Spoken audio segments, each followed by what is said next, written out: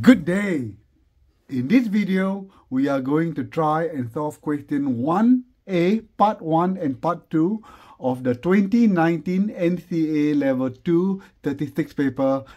It's called probability method. Without further ado, let's read the question.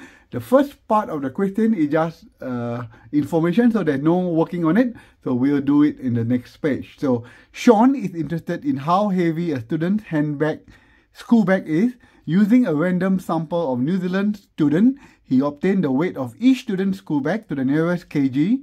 The result of his investigation are shown in figure 1, which is the graph, and table 1 and 2. So in question 1a, we are only interested in table 1, so we will ignore these two. This will be done in a later. The figure 1 as well as table 2 will be done in a later uh, example. So we shall concentrate on table 1. So when you look at table 1, there are the back weights from kilogram from 0 to 18 kg.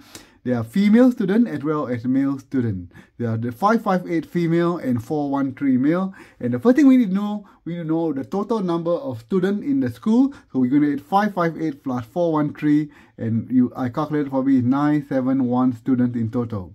So this number is important when you calculate probability. If you get this number wrong, all the question will be wrong. So remember, it's 971 student and we are going to answer the question now. Okay, so the part, remember, there are 971 students in total. Okay, so we shall read the question now. Okay, so use table 1, this table 1, find the probability that the student randomly chosen from this sample, part 1, has a school bag weighing more than 10 kg. So 10 kg is here. So more than 10 kg is all the numbers here. Okay. It's going to be 11 onwards, 11 kg to 18 kg. So we are going to add all these numbers 5, 4, 2, 4, 1, 2, 1, 4, 1, 2, 4.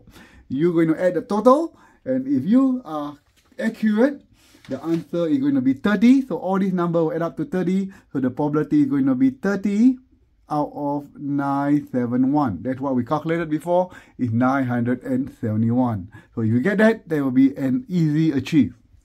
Part 2 is male and has a head and back, a school bag weighing 2 kg or less. Okay, so it's a male. So we're looking at a male here, less than 2 or less of 60 plus 59 plus 24. And the total for that will give us uh, the answer of 143. So you add 24, 59, 60. Is the answer is going to be 143 out of the total number of students is 971. And if you can answer that, that is another achieve. So it's quite straight, straightforward and easy. We, uh, see you in the next video, which is question 1b. Cheers everyone and have a good day.